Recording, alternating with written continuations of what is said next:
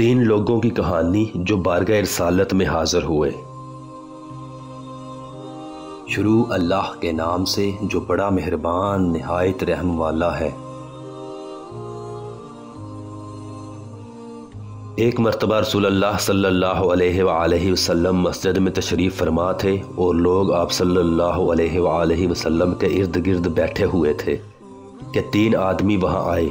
उनमें से दो रसूलुल्लाह सल्लल्लाहु वसल्लम के सामने पहुँच गए और एक वापस चला गया। फिर वो दोनों रसूलुल्लाह सल्लल्लाहु वसल्लम के सामने खड़े हो गए। उसके बाद उनमें से एक ने जब मजलस में एक जगह कुछ गुंजाइश देखी तो वहाँ बैठ गया और दूसरा अहले मजलिस के पीछे बैठ गया और तीसरा जो था वो लौट गया।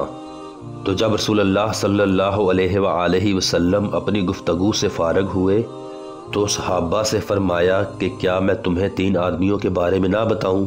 तो सुनो, उनमें से एक ने अल्लाह से पनाह चाही, अल्लाह ने उसे पनाह दी। और दूसरे को शर्म आई तो अल्लाह भी उससे शर्माया कि उसे भी बख्श दिया।